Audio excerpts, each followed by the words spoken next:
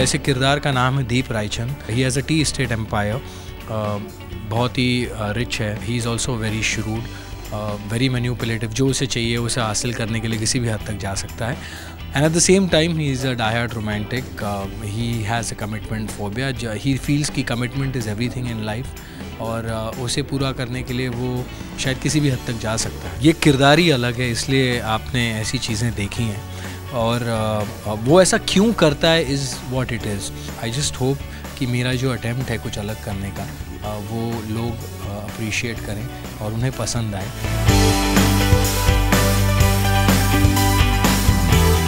I am Panwar और इस show में इश्क में मर जावा में मैं आरोही कश्यप का किरदार प्ले कर रही हूँ। बहुत ही स्ट्रॉन्ग कैरेक्टर है बहुत प्यारा कैरेक्टर है इंटरेस्टिंग भी है क्योंकि इसमें कोई एक दो तीन चार नहीं बहुत सारी अलग अलग खूबियाँ हैं कुछ खामियाँ भी हैं। एक बहुत ही नॉर्मल सी लड़की है।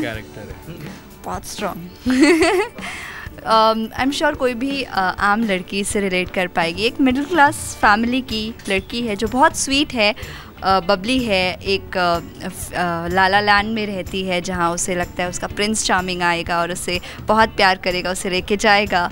और कैसे उसका प्रिंस चार्मिंग आता है दीप रायचंद के रूप में उसे प्यार करता है। लेकिन एक ऐसे अनइमेजिनरी लैंड में वो लोग लैंड कर जाते हैं जहाँ से उनकी सिचुएशंस चेंज होने लग जाती है।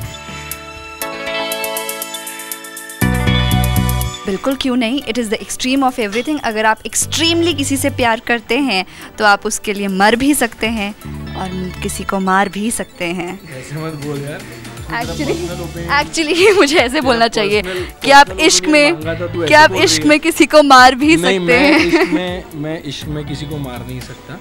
और मैं मैं मर भी नहीं सकता। मैं अपने लाइफ से बहुत प्यार करता हूँ। मैं इश्क दे सकता हूँ जितना चाहिए भरपूर दे सकता हूँ। अगर आप अर्जुन से पूछे तो।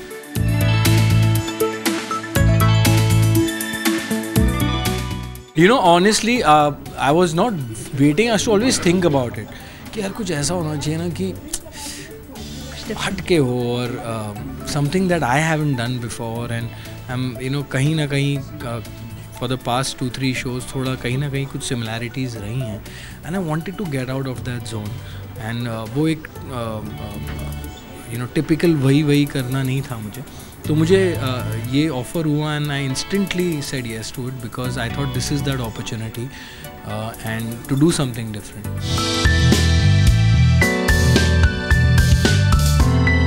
actually uh, मैं पहले थोड़ी सी नर्वस थी लेकिन एक्साइटेड भी बहुत थी क्योंकि ये मेरा first show as main lead है और uh, मेरे ऑपोजिट अर्जुन बिजलानी हैं जो कि ऑब्वियसली बहुत ही ग्रेट एक्टर हैं। उन्होंने बहुत अच्छे अच्छे शोज़ किए हैं। लेकिन uh, जब हमारा पहला सीन साथ में हुआ थोड़ी सी नर्वस थी लेकिन उसके बाद हमने जिस तरह से साथ में परफॉर्म किया उसके बाद काफ़ी अच्छा लगा बिकॉज़ मेरा पहला इम्प्रेशन इनके बारे में यही था कि he is very down to earth and he is a very good person so actually it was it was a good experience and I think she is also doing a great job as Arohi और uh, बहुत अच्छा काम कर रही है। I really can't comment on Nagin 3 right now. Right now, my uh, entire focus is on Ishq Mein Mar Jawa.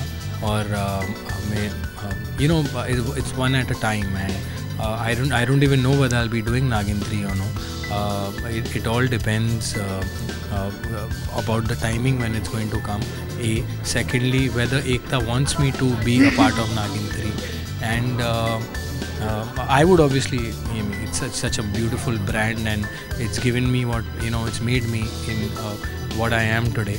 Or I would love to do it, but uh, like I said, मैं अभी ये show कर रहा हूँ तो I don't know what's going to happen next year so let's just stick to Ishq Mein Mar Java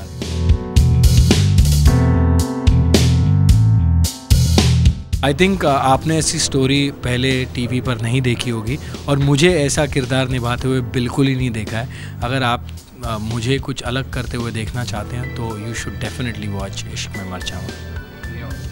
obviously इश्क में मर जावा story line बहुत ही स्ट्रॉन्ग है बहुत ही अलग है। इसमें सा, सारी चीज़ें हैं। आपको प्यार रोमांस भी देखने को मिलेगा लेकिन साथ में सस्पेंस थ्रिलर रिवेंज ड्रामा ये सब देखने को मिलेगा। तो हर ऑडियंस uh, की अलग अलग पसंद होती है अलग अलग चॉइस होती है। तो आई एम श्योर कि जिन्हें थ्रिलर uh, पसंद है जिन्हें रोमांस पसंद है वो सारी एक साथ मिलकर हमारा शो देख पाएँगे। तो you you should must and it's not a regressive show या